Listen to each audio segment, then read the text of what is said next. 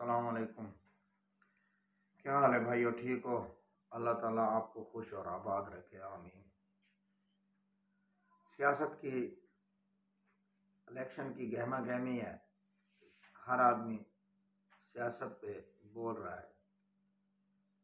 मगर हमारा सियासत पे बोलने को दिल नहीं करता।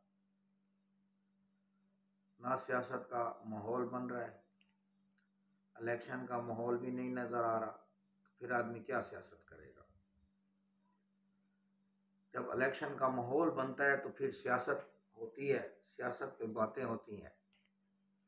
और जब जहन ही इलेक्शन को तस्लीम नहीं करेगा तो फिर सियासत की बातें नहीं होगी। आज से कोई चार महीने पहले तक सियासत पे बातें होती रही हैं। मगर खौफ से, अब लोगों के जहन से इलेक्शन का जो भूत है, वो ख़त्म तो नहीं हो सकता, कम ज़रूर हो गया मगर जो अंदर में है, जो अंदर सियासत है यहाँ पे, जो सियासत चल रही है, वो कुछ और कह रही है। मैं अपनी बात नहीं कर रहा, ओवरऑल बात कर रहा हूँ। कि लोगों के अंदर क्या है, उसके ऊपर बहुत से हाई प्रोफ़ाइल जो हैं, वो इस पे बहुत बातें कर चुके हैं। हमारे करने की ज़रूरत नहीं है, क्योंकि हम जवाब देने से डरते हैं, जवाब नहीं दे सकते। फिर ज़्यादा हमने ट्रैवल भी करना होता है, मंजर यहाँ पे भी रहते हैं तो इस खौफ की वजह से हम इस पर बात नहीं करते। मगर इतना ज़रूर कहते हैं कि जब सबका अपोजिशन लीडर राजा रियाज राजा रियाज जब किसी चैनल पे बैठ के कोई बातें कर रहा होता है तो हमारा सर शर्म से झुक जाता है। उन चैनल वालों के लिए भी और जो एंकर हजरात बैठे होते हैं उनके लिए भी और ख़ास तौर पे जिसने उसको मदू किया होता है और जिस तरह की बातें होती हैं। चलो, इस टॉपिक पे बात नहीं करते, फिर बात आगे निकल जाती है और हम अपनी औकात से ज़्यादा बोल जाते हैं जो हमारे फेवर में नहीं है। अब उसके बाद आ जाते हैं जनाब इलेक्शन कमीशन ने सिर्फ़ पीटीआई जमात को। सिर्फ़ का लफ्ज़ इस्तेमाल इसलिए कर रहा हूँ कि इलेक्शन कमीशन जो छानबीन कर रहा है, वो सिर्फ़ पीटीआई की हो रही है। सुप्रीम कोर्ट में छानबीन हो रही है, सिर्फ़ पीटीआई की हो रही है। हाई कोर्ट में, थानों में, कचहरियों में, जो भी कार्रवाई हो रही है, सिर्फ़ पीटीआई के लिए हो रही है। अच्छा है पीटीआई जब इतनी जगह से गुजरेगी तो ज़्यादा साफ़ सुथरी जमात बन जाएगी। उसमें अगर कुछ खामियाँ हैं तो इतनी जगह से वो छानना एक बड़ा होता है, फिर छोटा होता है, फिर बिल्कुल बारीक होता है। तो इतनी जगह से जब हो के आएगी तो बहुत साफ़ हो जाएगी। फिर उसके जो सरकर्दा लोग हैं, उनके जितने इम्तिहान हो रहे हैं ये इम्तिहान देने के बाद मकसद हमारा एक अपना जहन है। अपने माइंड के हिसाब से हम बात करते हैं। हमारे माइंड के हिसाब से वो इस दुनिया में भी सुरखरू हो जाएँगे और उस दुनिया में भी सुरखरू हो जाएँगे। ये भी हो सकता है मैं गलत हूँ। मेरा तजिया गलत हो। ये कोई हरफ आखिर नहीं है, मगर मैं अपने माइंड की बात कर रहा हूँ। कुछ लोगों के जहन में कुछ है तो वो उनके अपने हिसाब से है। अब बात करते हैं सियासत की। सियासत में ख़ास तौर पे पीटीआई का जो इंटर इलेक्शन हुआ है इंटर इलेक्शन में इलेक्शन कमीशन के चीफ इलेक्शन कमीशन के जो हुक्म पर हुआ है, उसमें ज़्यादातर नए नए चेहरे आए हैं। नए चेहरे भी पीटीआई के नहीं हैं। क्योंकि पीटीआई वाले जो हैं, वो छानने में से छाने जा रहे हैं, इसलिए वो एक साइड में हैं। ये कुछ नए लोग हैं। मगर बज़ाहिर अच्छे लगते हैं। उनके अंदर की भी अल्लाह जानता है। क्योंकि आजकल पाकिस्तान में किसी भी हवाले से अंदाज़ा लगाना और सियासत पे तबसरा करना बहुत ही मुश्किल काम है। इस पे कोई भी तजिया नहीं कर सकता और सच्चा तजिया तो बिल्कुल भी नहीं कर सकता। अगर सच्चा तजिया करेगा तो वो तजिया उसका आखिरी तजिया होगा। अल्लाह उस दिन से बचाए। हम तो डरने वाले लोग हैं, बहुत छोटे लोग हैं। तो आजकल तो बड़े लोग डरे हुए हैं तो हम तो छोटे लोग हैं। हमें भी डरना चाहिए। कोई बात नहीं। बाल टाइम इम्तिहान के दिन होते हैं, उनमें आदमी को एहतियात से काम लेना होता है। तो हम लोग भी एहतियात से काम ले रहे हैं। एहतियात से काम ले रहे हैं, मगर कुछ भूले नहीं हैं। भूल नहीं सकते हम लोग। ना हमारा जहन भूलेगा, जब तक ज़िंदा है, और ना हमारा दिमाग भूलेगा। हाँ आगे कुछ अरसे बाद अगर हमारी यादाश्त कमज़ोर हो जाए तो अल्लाह जानता है। बाकी आजकल अच्छा मैं एक थोड़ी सी तशरी कर दूँ कि मैं तकरीबन जो वीलॉग करता हूँ, गरीबों के लिए क्यों करता हूँ? कंस्ट्रक्शन के शोबे में रहता हूँ तो वहाँ ज़्यादातर लेबर के लोग होते हैं मेरे साथ।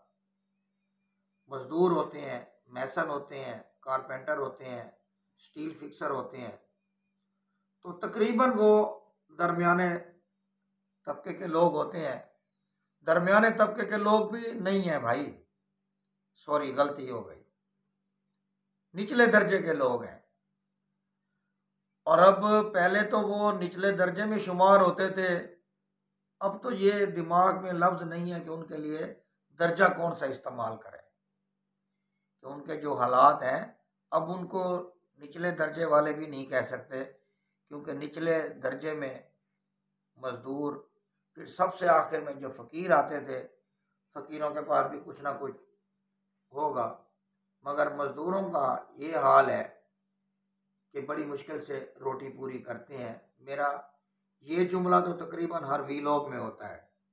उसका रीज़न क्या है? उसका रीज़न है कि मैं दिन रात उनमें रहता हूँ दिन रात वो मेरे साथ वर्क करते हैं।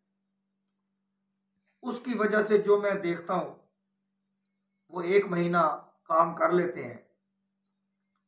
पीछे उनके बच्चे परचून की दुकान से भी उधार लेते हैं, दूध वाले से भी उधार लेते हैं, फिर बिजली का बिल, गैस का बिल, जो शहर में रहते हैं, जो देहातों में रहते हैं तो उनकी लकड़ियाँ ख़त्म हो जाती हैं। ज़ाहिर है उन्होंने लकड़ियाँ लेनी है। खर्चे होते हैं। जब महीने के बाद सबका हिसाब बनाता हूँ तो हर महीने की अगर तीस का महीना है तो तीस तारीख को।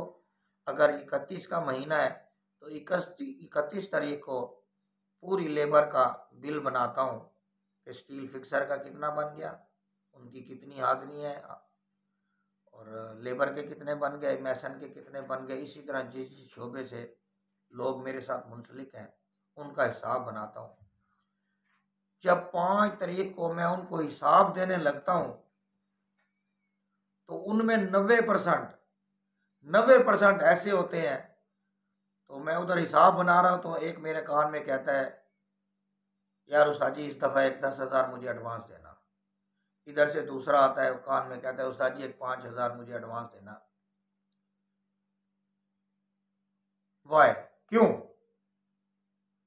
इसलिए कि उनको आगे नज़र आ रही है कि मेरे घर वालों ने परचून वाले से कितने लिए हुए हैं, दूध वाले के कितने देने हैं, सब्ज़ी वाले के कितने देने हैं तो वो उसके पास पीछे से बिल आया होता है, घर से, कि भाई ये पैसे फलां को देने हैं, ये फलां को देने हैं। फिर वो देखता है कि मैंने कितने योम काम किया है, मेरा खर्चा कितना हुआ है, कितना मैंने लिया हुआ है, बकाया, इतना बच रहा है, मैंने तो वहाँ इतना भेजना है। फिर वो कोई पाँच हज़ार, कोई दो हज़ार, कोई तीन हज़ार, जितनी मेरे पास गुंजाइश हो सकती है, मैं फिर आगे कंपनी वालों से उतने कहता हूँ कि यार इतने ज़रूरत है, मुझे फालतू चाहिए। तो इस तरीके से ये अच्छा वो जो मार्जन है, वो बढ़ता जा रहा है। उसका अंजाम क्या होगा? कि मकरूज हो जाएँगे।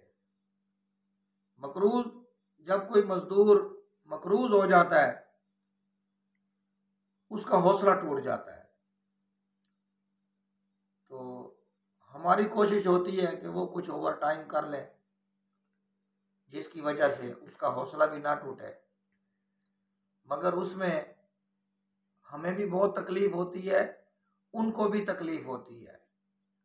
क्यों आम रूटीन में देखें ऑफ़िस में लोग जाते हैं, चार घंटे छः घंटे ड्यूटी होती है, कभी सुबह दो घंटे लेट हो गए, कभी छुट्टी से दो घंटे पहले चले गए। मगर ये वो लोग हैं जो सुबह आठ बजे से लेके पाँच बजे तक काम करते हैं। एक घंटा दोपहर को खाना खाते हैं, जो रेस्ट होता है, उस एक घंटे का तो पता भी नहीं लगता। बाकी जो आठ घंटे करने के बाद, फिर पाँच बजे के बाद उनका ओवर टाइम शुरू हो जाता है। तो सर्दियों के दिनों में ओवर टाइम करना भी उनके लिए बड़ा मुश्किल हो जाता है। क्योंकि हमारे मुल्क में मज़दूर के लिए कोई कानून नहीं है। एक मज़दूर पाकिस्तान एक है, चार सूबे हैं। मगर किसी जगह पे मज़दूर को 600 मिल रहा है, किसी जगह पे 800 मिल रहा है, किसी जगह पे एक हज़ार है, किसी जगह पे बारह सौ है। तो ये हालत है। और जो बाहर जाते हैं, वो किराए भी बहुत महँगे हो गए हैं। और कोयटा में तो अगर आप एक कमरा किराए पे ले लें तो दस से पंद्रह हज़ार रुपया एक कमरे का किराया है। वो भी वो डिवाइड करते हैं, बाद कंपनियों वाले लेके देते हैं। अल्लाह ताला उनको इसका अजर देगा। मगर ये है कि ये मज़दूर क्या करेंगे? कोई जब तंग आ जाएँगे तो कोई गलत काम शुरू करेंगे। अगर गलत काम करेंगे तो फिर तो नुकसान होंगे। और अल्लाह ताला हमें उस नुकसान से पहुँचाए अल्लाह ताला नुकसान से हर मुसलमान को बचाए। अल्लाह ताला पाकिस्तान की हिफाजत फरमाए और ये जो इलेक्शन हो रहे हैं, जिस तरह भी होंगे, अल्लाह पाक कोई सीधा रास्ता निकाले और बाखूबी खैरियत से ये इलेक्शन हो जाए और इसमें खून रेजी अल्लाह पाक बचा के रखे कि खून रेजी ना हो। अमन अमान की सूरत हाल में इलेक्शन हो। और इस तरह के हों जिस पे किसी को कोई इतराज़ ना हो। क्योंकि इतराज़ होगा तो फिर वही जल्द से जुलूस, गलियों में रश, रोडों पे बंद, रोड बंद। अब रोडों पे रोड बंद कर देते हैं। कोई मरीज़ जा रहे हैं, उनके लिए भी तकलीफ़ का बायस बनता है। तो मेरी उनसे भी रिक्वेस्ट है कि जो एहतियात, एहतजाज करें, वो थोड़ा एक साइड पे करें ताकि लोगों के लिए मुश्किल ना बने। जिन लोगों के लिए एहतजाज कर रहे होते हैं एहतजाज तो सबके लिए होता है। कोई अपने लिए वो नहीं कर रहे होते। मगर एहतजाज इस तरह का करें कि जिनके लिए आप एहतजाज कर रहे होते हैं, कम अज़ कम उनको तकलीफ़ ना हो। अल्लाह ताला हम सब का हामी नासिर हो। पाकिस्तान जिंदाबाद।